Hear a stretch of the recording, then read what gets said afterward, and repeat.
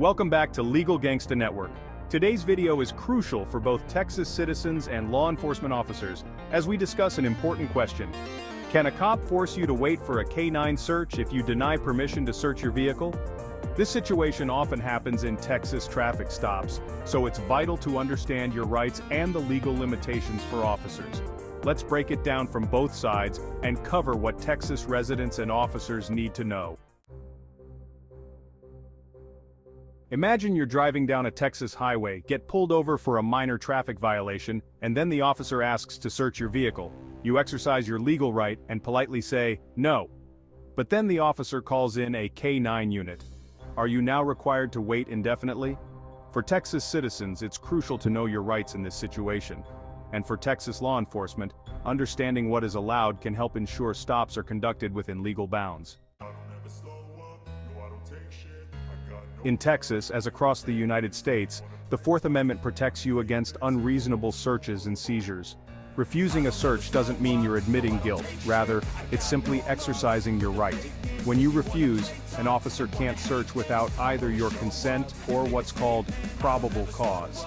However, if the officer develops reasonable suspicion of additional criminal activity, they may request a K-9 unit to conduct a sniff around the vehicle's exterior. A key case to understand here is Rodriguez v. United States, 2015. In this case, the United States Supreme Court ruled that officers cannot prolong a traffic stop beyond the time necessary to handle the purpose of the stop, such as issuing a warning or a ticket, unless they have reasonable suspicion of additional criminal activity. For Texas officers, this means they must act within the confines of this ruling, ensuring any extension of the stop is based on reasonable suspicion. Without this, detaining a person just to wait for a K-9 unit could be considered a violation of the Fourth Amendment. Now what exactly is reasonable suspicion? In Texas, reasonable suspicion must be based on specific, articulable facts that would make a reasonable officer believe that criminal activity may be taking place. This can include behaviors like extreme nervousness, inconsistencies in responses, or visible illegal items. However reasonable suspicion isn't the same as probable cause. It's a lower standard but still requires a factual basis. For citizens, it's important to understand that refusal alone does not constitute reasonable suspicion. So if there's no evidence beyond your refusal, a lengthy detention may not be justified. In Texas, a reasonable wait time for a K-9 unit is often seen as around 15 to 20 minutes but this can vary depending on the circumstances. For example, in a rural area where resources are limited, a slightly longer wait may be justified. However, Texas courts have shown that without additional evidence, anything exceeding 20 to 30 minutes could be seen as a violation of your rights. Texas officers should document any justifying factors to avoid overstepping legal limits.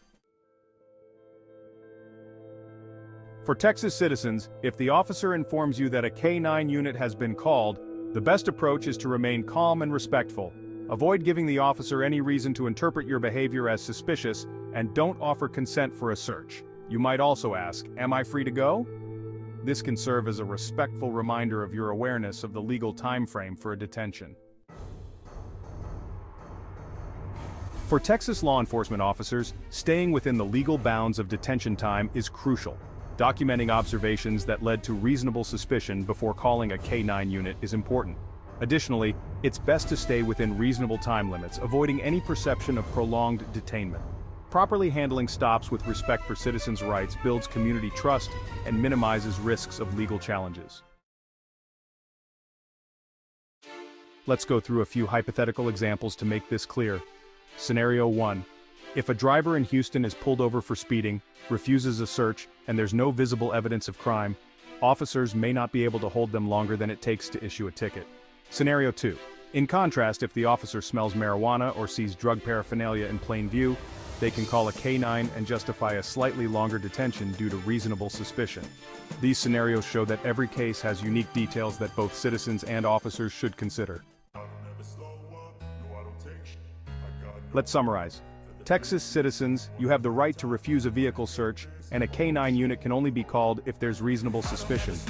Texas officers, remember to act within the confines of the law and avoid extended detentions without legal grounds. Respecting these rights and procedures benefits both citizens and law enforcement, creating a fairer and more transparent justice system. Thank you for tuning in. If this video helped clarify your rights and responsibilities, please like, subscribe, and share with others. Here at Legal Gangsta Network, we're committed to helping Texas residents and officers understand and respect the laws that guide us all. Until next time, stay informed, stay empowered, Texas! This content is for informational purposes and not a substitute for legal advice. Consult a legal professional for specific legal concerns.